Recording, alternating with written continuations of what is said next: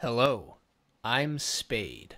Today, I'd like to show you a resource that I've found useful as I've been trying to learn how to get really good at Counter-Strike Global Offensive.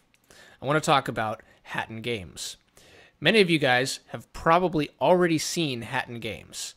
He usually posts the videos that he makes at the Reddit where we all hang out.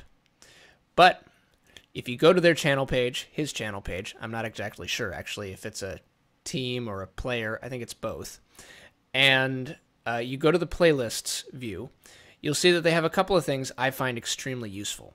One of the obvious ones is the CSGO nade spots.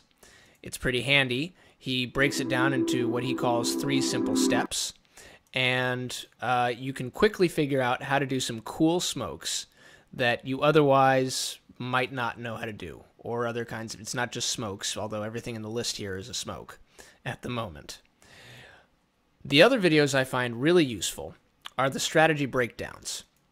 He goes through uh, a play in a match piece by piece, beginning with just the overall perspective, just looking from the top down at whatever's happening.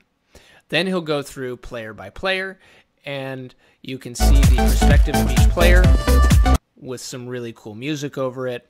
And he'll usually introduce what the player is going to do and why they've done it.